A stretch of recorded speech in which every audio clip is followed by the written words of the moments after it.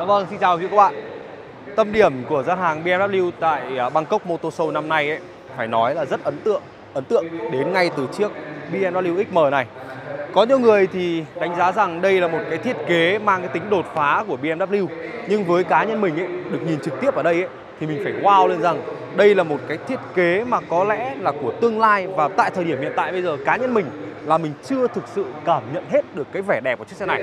Nó mang cái gì đó nó quá là tương lai và nó quá là khủ khẩm nó khiến cho mình có những cái cảm giác rất là bất ngờ với BMW à, ờ, mặc dù là họ đã vẫn giữ uh, tuân thủ và giữ lại cái thiết kế lưới tản nhiệt theo mọi người nói là quả thận nhưng mà với mình ấy thì mình thấy là đây là những cái thiết kế mà quá là tương lai và xu hướng khiến cho rất nhiều người có cái cảm giác lạ đối với một chiếc BMW và đây là một chiếc xe PHEV thế cho nên là nó có cái sự hỗ trợ của motor điện. Và theo như mình kiểm tra và mình quan sát thì cái motor điện đó nó sẽ nằm ở cầu sau. Để giúp chiếc xe này có được cái khả năng tăng tốc cực kỳ ấn tượng mà có thể xét so sánh ngang với những mẫu xe như là Lamborghini Urus hay là chiếc Porsche Cayenne uh, Turbo S phiên bản là IHEV thì phải. Mình nhớ không nhầm là như vậy. Hai chiếc xe đó thì có cái khả năng tăng tốc từ 0 đến 96 km/h là khoảng tầm 3,2 giây. Còn chiếc xe này là từ 0 tới 96 km/h đâu đó khoảng 3,5 giây theo nhà sản xuất công bố. Một cái phần thiết kế đầu xe rất là dày và ở cái phần ba là sốc phía trước đây, các bạn thấy này, rất nhiều những cái hốc hút gió hai bên này. Nhưng mà nó lại là hốc hút gió giả bởi vì chiếc xe này có một cái phần đầu dày. Thế nên là cái lưới tản nhiệt ở phía trước này nó đã quá đủ để tản nhiệt cho khối động cơ V8 4.4 lít rồi. Và ở hai bên thì các bạn có thể thấy những cái hốc hút gió như thế này để đưa luồng gió vào bên trong hộc bánh xe và triệt tiêu đi cái luồng gió xoáy ở đây. Khi mà chiếc xe này tăng tốc nó có được cái hiệu suất tăng tốc rất tốt với 3,5 giây đã đạt 60 dặm tức là khoảng 96 km/h từ 0 đến 96 km/h là 3,5 giây. Và với một chiếc xe của BMW ấy, thì họ luôn luôn hướng tới cái hiệu suất về vận hành. Khối động cơ V8 4.4 lít kết hợp với hệ thống điện là PHEV ấy, thì nó sản sinh ra công suất là 644 mã lực. Và với cái bản hiệu suất cao đặc biệt thì nó có thể tăng lên là 735 mã lực. Vâng, những con số mà chắc chắn những ai yêu BMW, những ai thích cầm lái đều rất muốn sở hữu chiếc xe này. Nhưng chúng ta phải quay lại về mặt thiết kế, quay lại về những cái dáng vẻ bên ngoài xe này. Nó quá là lạ, nó quá là độc và có lẽ với mình ý, thì mình sẽ không thích những cái đường sơn màu vàng như thế này làm điểm nhấn đâu.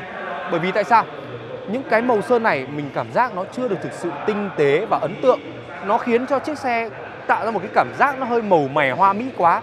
Nó không còn cái độ chất cái độ lì và cái độ nam tính của một chiếc xe BMW và như các bạn có thể thấy ở đây uh, đang được cắm sạc điện.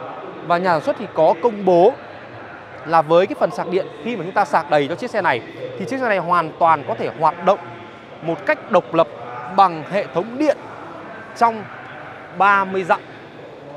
30 dặm nếu như chúng ta đổi thì đâu đó nó sẽ rơi vào khoảng tầm hơn 46 km thì thôi, mình cứ cho là khoảng 47 km đi. Và với cái tầm hoạt động cho một lần sạc điện đầy như vậy, thì với một chiếc XM như thế này, thì mình đánh giá là tiêu chuẩn khá cao. Và hiệu suất vận hành của một chiếc BMW M thì như các bạn rất biết rồi, nói là hiệu suất cao và khi lên BMW có M thì chắc chắn chúng ta sẽ được trải nghiệm những cảm giác vô cùng thú vị. Và điều ấn tượng nhất ở bên hông xe thì chúng ta phải kể tới cái bộ la răng lên tới 23 inch. Và thông số lốp là 275 gạch 35 các bạn thấy không? Cái thiết kế này, nó độc, nó lạ và ngay cái phần logo ở chính giữa đây cũng là BMW chứ không còn là cái logo thường thấy của một chiếc BMW nữa. Tất cả mọi thứ đều quá mới mẻ với một chiếc XM và thật sự với cá nhân mình thì mình chưa quen. Và chưa thể nào quen được thì đúng hơn. Với một chiếc xe như thế này phần tay nắm cửa rồi tất cả những chi tiết ở chiếc xe đều được làm theo dạng hình học. Và mình đoán là cái yếu tố X ở đây nó mang cái cái giá trị là tương lai là một cái gì đó nó rất là robot nó rất là bí ẩn. Và uh, cái cái bộ phận hiệu suất cao của BMW M Sport đã làm ra một cái chiếc xe um, nó độc quá nó lạ quá. Tay nắm cửa cũng vậy cái tay nắm cửa cũng được thiết kế rất đặc biệt. Đây các bạn có thể thấy này phần tay nắm cửa này các cái phần hình học. À, đối với uh, uh, Lamborghini thì có hình hexagon. Thì đối với BMW họ đang muốn tạo ra một cái gì đó nó phải riêng biệt và nó phải có dấu ấn riêng của mình. Cửa được trang bị là cửa hít đây được trang bị cửa hít và cánh cửa mặc dù to nhưng mà lại cảm giác rất là nhẹ nhàng.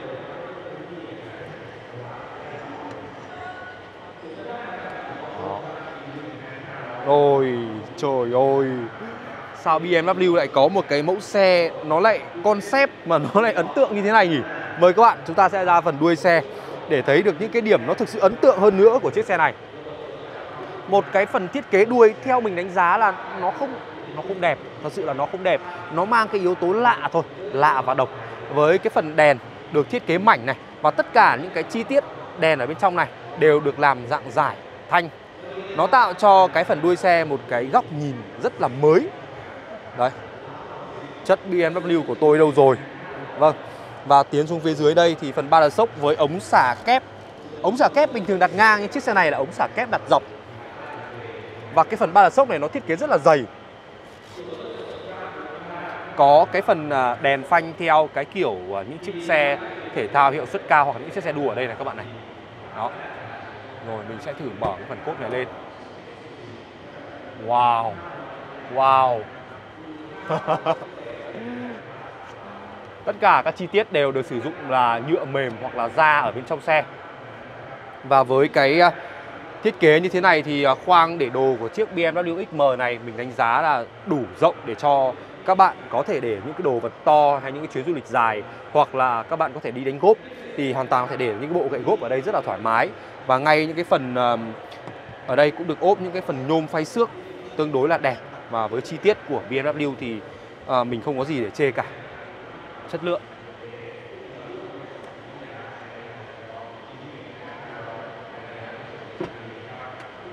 Rồi nói đến cái sự êm ái và mượt mà. Thông thường thì các bạn sẽ thấy rằng với một cái phần uh, cốp được làm phần đuôi theo kiểu hatchback như thế này á thì uh, cái phần đây nó sẽ là một cái ti đẩy thủy lực để đưa cái phần cửa cốp lên. Nhưng mà với BMW họ đã tốn rất nhiều diện tích cho cái vị trí này để làm một cái bản lề cong và có thể nâng lên hạ xuống. Không hề có một cái tay đòn, cái ti đòn nào đây cả. Đó. Rất là ấn tượng. Nhưng chưa hết đâu ạ. Mời các bạn hãy tiến vào hàng ghế thứ hai của chiếc xe này. Sau đó mới đến hàng ghế thứ nhất để chúng ta cùng nhau đi lần lượt và wow wow wow từng điểm một của BMW XM. Wow. Thật sự là khi mà ngồi vào cái um, hàng ghế thứ hai của chiếc xe này thì cái điều đầu tiên mà các bạn cảm nhận được nó không phải đến từ phần thị giác, mà chính là cái phần mông của chúng ta chúng ta được ngồi vào một cái bề mặt da và một cái loại ghế theo như mình đánh giá, nó phải tương đương với những bộ sofa nhiều tỷ ở gia đình. Nó quá êm và nó quá sướng luôn. Mình không biết phải dùng cái từ ngữ nào để có thể diễn tả được cái độ sướng và độ phê của mình khi mình ngồi vào cái vị trí ghế này. Lát nữa, chắc chắn nó sẽ còn những cái hay hơn nữa và thú vị hơn nữa khi chúng ta ngồi vào hàng ghế thứ nhất. Mọi cái chất liệu da ở trên chiếc xe này, theo như mình đánh giá, nó đều thuộc hàng cao cấp đặc biệt mình đã từng ngồi Urus rồi. Mình đã từng ngồi à, Porsche Cayenne Turbo S rồi. Và mình đã từng ngồi Rolls Royce rồi. Thì đây là cái bộ ghế da mà mình cảm thấy ấn tượng nhất. Thật sự với các bạn luôn ấn tượng nhất. Mà đây chưa phải là bản giới hạn của chiếc XM này đâu các bạn ạ. Bản giới hạn nó có thể nâng công suất lên tới 735 mã lực. Wow, thật sự là quá khủng khiếp. Và thay vì một cái phần cửa sổ trời toàn cảnh thì ở trên XM này lại được làm bằng trần da lộn Với cái phần khối hình học Để tạo ra một cái không gian thực sự là quá đặc biệt Và ở trên cái phiên bản đặc biệt, Phiên bản giới hạn thì còn được làm những cái lỗ li ti Để đưa những cái ánh sáng li ti xuống tương tự như là trần của Rolls Royce Và hoàn toàn các bạn là những người có thể lựa chọn tất cả những option đó cho chiếc XM này. Chiếc xe này là một chiếc xe hiệu suất cao do M Sport phát triển của BMW nhưng mà ngồi ở cái vị trí hàng ghế thứ hai này thì nó vô cùng là thoải mái và mình tin rằng tất cả những hành trình khi ngồi ở trên cái hàng ghế thứ hai này sẽ đều trở nên dễ chịu. Và có một cái điều đặc biệt nữa, ở trên chiếc XM này khi mà nói về cái vận hành thì hệ thống treo của chiếc xe này thì không phải sử dụng hệ thống treo à, bóng khí, mà trên chiếc xe này lại sử dụng hệ thống treo lò xo cuộn kết hợp với giản chấn, thích ứng theo điều kiện vận hành. Một sự cân bằng, theo như những chuyên gia đánh giá xe quốc tế, họ đã lại lái và trải nghiệm thì họ đánh giá đây là một chiếc xe cân bằng cân bằng nhất mà họ đã từng lái và họ cảm nhận được cái hiệu suất cao qua từng khúc cua. Rất ấn tượng. Mình cũng chỉ mới nghe nói như thế thôi, chứ đã được chạy đâu. Chia sẻ với các bạn như vậy. Toàn bộ hệ thống đèn ambient light trong xe thì đương nhiên rồi. Với BMW chúng ta có thể điều chỉnh các cái màu được nhưng mà với mình thì mình vẫn thích cái màu cam. Cái màu mà nó đã rơi vào huyền thoại của BMW mỗi khi chúng ta bước chân vào khoang nội thất.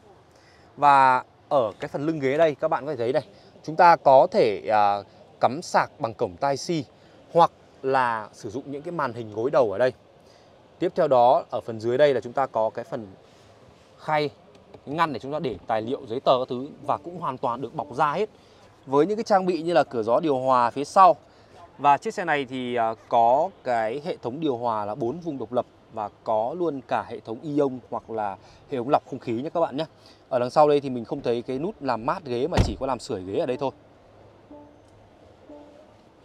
Cái à, bệ tỉ tay trung tâm ở giữa khoảng ghế nhất và cái phần bảng điều khiển đằng sau của chiếc BMW XM này thì mình lại chưa đánh giá cao bởi vì nó mang đậm cái chất BMW nó không hề có sự thay đổi và nó chưa mang lại cái yếu tố công nghệ và tương lai cho chiếc xe này. Và với cái màu da xanh kết hợp với cái màu da lộn, màu nâu ở bên trần xe và táp bi cửa thì mình đánh giá rằng đây là cái khoang nội thất mà nó mang lại nhiều cảm xúc nhất từ phần nhìn cho tới phần mùi.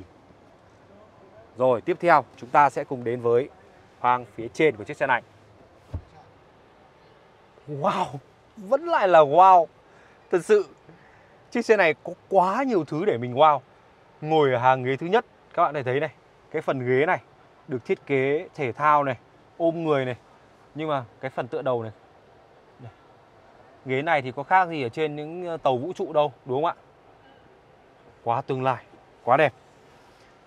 Bảng táp lô thì là cái sự phối hợp giữa phần à, da màu nâu da bò và cái phần ờ, ốp carbon ở đây rất đẹp điểm nhấn chính ở cái phần bảng táp lô này là cái màn hình dài, nhưng mà được cong. Theo như mình đánh giá thì cái đồng hồ màn hình ở phía sau vô lăng này, nó nên được làm rộng ra một chút nữa, theo kiểu tràn viền hơn một chút nữa, hoặc là có thể có sự kết nối, tràn từ trái qua phải, để chúng ta có được một cái màn hình nó hiển thị thông tin, ấn tượng hơn. Quay lại với cái phần à, vô lăng của chiếc xe này. Thì vô lăng M Sport thiết kế mới thì chắc các bạn cũng đã quá quen thuộc rồi. Nó có một cái cảm xúc rất là đặc biệt, nhưng ở đây những cái phần nút bấm của BMW họ vẫn giữ cái kiểu thiết kế to, bấm dễ và quan trọng là khi chúng ta chạy hiệu suất cao, chúng ta vận hành nó cực kỳ thuận là thuận tiện. Và lẫy chuyển số ở sau vô lăng là được ốp bằng carbon, nên là nhìn rất là đẹp và với hai cái nút bấm M1 và M2 ở đây thì nó sẽ giúp chúng ta chuyển đổi cái chế độ chạy đây chuyển đổi M1 và M2 để chúng ta có thể chuyển đổi các cái chế độ chạy thể thao ấn tượng hơn. Và khi mà các bạn ngồi ở vị trí này thì mình tin chắc là các bạn cũng sẽ rất là ấn tượng với mình khi mà cái phần đồng hồ ô đô ở phía sau vô lăng á, được thiết kế và làm dạng như ở trên những cái thiết bị bay, những cái phần mà chúng ta cảm nhận là tương lai nhất thì nó nằm chính ở cái vị trí này. Hệ thống cửa gió điều hòa ở hai bên cũng vậy. đây, M Sport thiết kế ấn tượng với cái giải đèn led ở phía dưới đây và cái cửa gió điều hòa các bạn nhìn này. Đó. Hay không ạ? Nhưng mấy cảm giác khi mà mình cầm vào đây ấy, thì nó lại chưa được thực sự là ấn tượng lắm nha. Đó. hơi tiếc khi mình lại không có à, chìa khóa ở đây nhỉ để chúng ta có thể nghịch nhiều hơn vào cái phần màn hình này. Màn hình cảm ứng này. Này.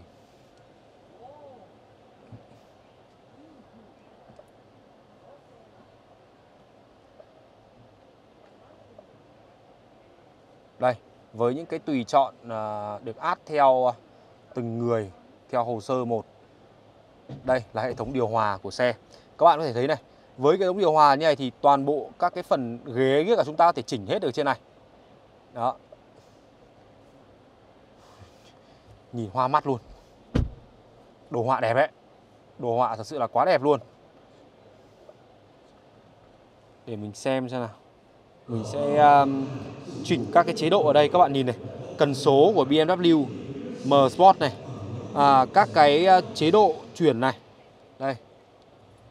Và ở bên trên cái nút bấm này chúng ta có thể ấn kích hoạt hệ thống camera. Và đây, các bạn còn nhìn thấy nhé. Đấy, các cái góc camera. Camera 360 này, panorama view đằng phía sau này. Nhưng mà với mình ấy thì mình vẫn đánh giá cái hệ thống camera của những mẫu xe Mercedes-Benz nó cho chúng ta cái đồ họa đẹp hơn, chất lượng tốt hơn và cái đồ họa 3D của Mercedes-Benz thì hiện tại thời điểm này mình đánh giá là rất ít mẫu xe có thể làm được và họ đã đạt tới một cái cái cái đỉnh là tạo cho người dùng có một cái góc quan sát rất là thật để cho chúng ta vận hành, chúng ta cảm giác, chúng ta nhìn nó chính xác hơn. Còn BMW thì đâu đó mình vẫn thấy là vẫn có một cái gì đó rất là bảo thủ khi những cái góc cam nó còn rất là bình thường như thế này. Đây các bạn nhìn này. Đây là những cái góc cam của BMW mà các bạn có thể à, thể quan sát được. Rồi. Tiếc quá nhờ, mình mà có chìa khóa mà để đi chiếc XM này ra đường để chạy đường đèo núi để chạy như trên cao tốc mà để chia sẻ với các bạn thì không còn gì để mà phải bàn nữa. Hộc bề thì tay thì và những cái trang bị rất là bình thường thôi, cổng sạc Type-C, phanh tay điện tử hỗ trợ đổi xuống dốc. Và trên chiếc xe này thì à, có những cái option để chúng ta có thể lựa chọn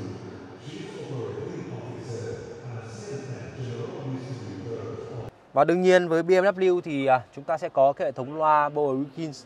À, hệ thống loa này thì trên BMW chắc quý vị các bạn cũng đã có những cái trải nghiệm rồi và với chiếc XM này thì hôm nay mình chưa chìa khóa nên mình cũng chưa trải nghiệm. Chỉ biết là ở trên xe có rất nhiều loa và hệ thống loa đó còn được dàn trải ra ở phía sau cho hàng ghế thứ hai. Cảm giác mình tin rằng những người ngồi trên xe sẽ có những cái trải nghiệm thú vị về hệ thống âm thanh trên chiếc xe này thôi. à, trên cái tab bi cửa thì các bạn sẽ thấy là ở bên ghế phụ sẽ có à, massage. Và đương nhiên là xe này thì có làm mát ghế cũng như là sưởi ghế rồi. Có nhớ hai vị trí và ở trên cái phần ghế lái thì cũng có thêm uh, massage cũng có nhớ hai vị trí. Và điều đặc biệt hơn là các bạn có thể ấn vào đây để tùy chỉnh ghế ở bên phụ để tạo không gian để tạo ra một cái vị trí ngồi tốt cho vị trí ghế VIP ở phía sau. Em Performance không thể nào bỏ qua được cái khoang động cơ quá là hấp dẫn và sexy như thế này. Ở trên à, cái khoang động cơ này là một chiếc xe hiệu suất cao cho nên chúng ta thấy là khá nhiều những cái phần thanh rằng được thiết kế đặc biệt dành cho khối động cơ V8 4.4 lít twin turbo này. À, các bạn thể nhìn này hai cái uh, turbo hai bên rất là to và cái nắp động cơ này còn được làm với chất liệu nhựa vân carbon màu đỏ. Và mình xin phép nhắc lại một chút, với chiếc xe này chúng ta có 644 mã lực và một phiên bản đặc biệt là 735 mã lực. Và thời gian tăng tốc của nó từ 0 lên 60 dặm khoảng 3,5 giây, tức là từ 0 lên 96 km/h chỉ mất khoảng 3,5 giây. So với chiếc Lamborghini Urus là 3,2 giây thì thực sự BMW đã làm ra một chiếc xe rất rất ấn tượng. Và đây là một chiếc xe có công nghệ PHEV. Thế cho nên là nó sẽ có cái sự hỗ trợ của động cơ điện.